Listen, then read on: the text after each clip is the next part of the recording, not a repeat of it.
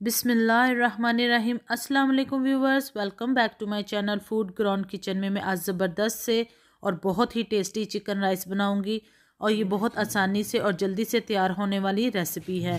लेकिन इसको बनाने से पहले आप मेरे चैनल को सब्सक्राइब करें और साथ में जो बेल आइकन का बटन है, इसको दबाना मत भूलें ताकि मेरी हर आने वाली रेसिपी का नोटिफिकेशन आप तक पहले पहुँचे।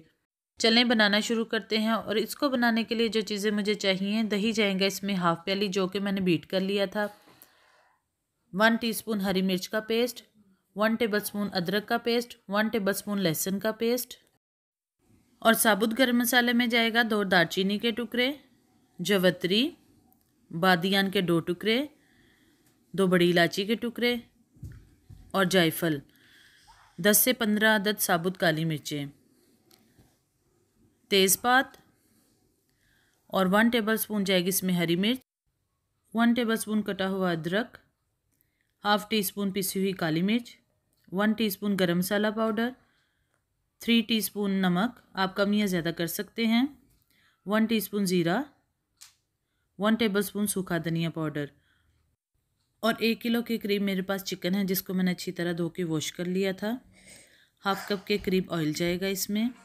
और एक किलो मैंने चावल लिए थे, जिनको मैंने अच्छी तरह वॉश करके आधे घंटे के लिए भिगो के रख दिया था। और पानी इसमें मैं डालूँगी चार से पाँच गिलास, लेकिन आप अपने चावलों के मुताबिक इसमें पानी कम या ज़्यादा कर सकते हैं। और यहाँ पर मैंने एक देगची ले ली है। फ्लेम को मैंने ऑन कर दिया है। मीडियम टू हाई फ्लेम है और हाफ़ कप के करीब ऑयल डाल के मैं गर्म होने के लिए रख दूँगी। ऑयल गर्म हो चुका है। अब मैं इसमें डाल दूँगी साबुत गर्म मसाला। और इसको डाल के मैं हल्का सा क्रैकल कर लूँगी।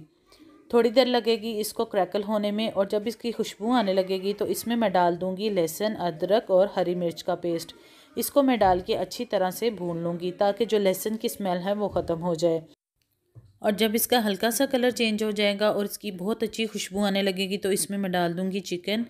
और ये देखें इसका हल्का सा कलर हो चुका है चेंज। अब मैं चिकन को इसमें ऐड कर दूँगी। और चिकन डालने के बाद मैं इसको अच्छी तरह से भून लूँगी।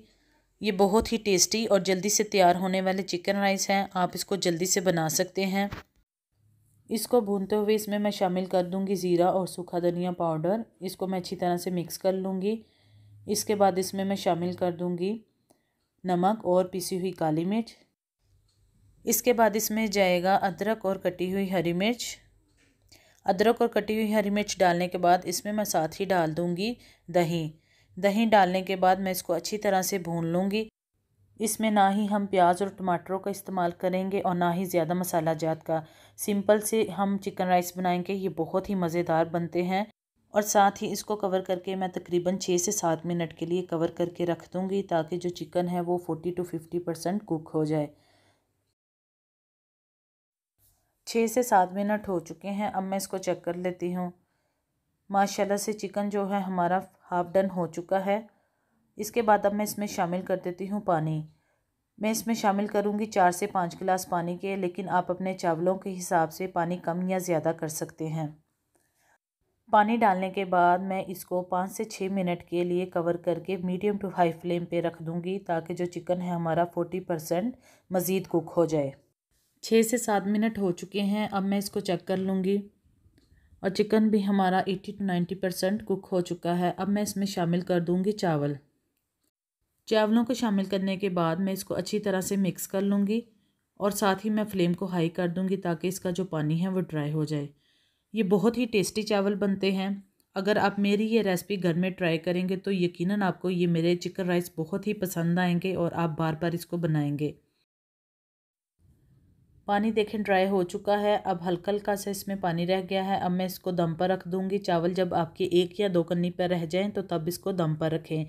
लेकिन दम पर रखने से पहले मैं इसके ऊपर डाल दूँगी पीसा हुआ गरम मसाला पाउडर। इसके बाद मैं इसके ऊपर डाल दूँगी फ़ूड कलर फ़ूड कलर आप पानी या दूध में मिला के भी डाल सकते हैं, लेकिन मैं इसको ऐसे ही डाल लूँगी। अब मैं डाल दूँगी इसके ऊपर कटा हुआ हरा धनिया। आप चाहें तो पुदीना भी डाल सकते हैं। अब मैं इसको कवर करके पाँच मिनट के लिए दम पर रख दूँगी, ताकि जो चावल हैं हमारे मुकम्मल तौर पर कुक हो जाएँ। पाँच मिनट हो चुके हैं, अब मैं इसको चेक कर लेती हूँ। माशाल्लाह से इतनी ज़बरदस्त और इतनी अच्छी खुशबू आ रही है कि मैं आपको क्या बताऊँ। जितनी इसकी खुशबू अच्छी है, उतने ही ये खाने में टेस्टी होंगे। आप इसको घर में ज़रूर ट्राई करें। सारे चावलों को मैं मिक्स कर लूँगी और इसके बाद इसको मैं डिश आउट कर लेती हूँ। बहुत ही टेस्टी बने हैं। लीजिए, हमारे ज़बरदस्त से चिकन राइस रेडी हो चुके हैं। आप इसको सैलड, किसी भी चटनी या रायते के साथ खाएँ, बहुत ही मज़ा आएगा। अगर आप मेरे चैनल पे आने वाले नए हैं तो मेरे चैनल को प्लीज़ सब्सक्राइब करें और अपने फैमिली मेंबर्स और फ्रेंड्स के साथ मेरे चैनल को शेयर करना मत भूलें।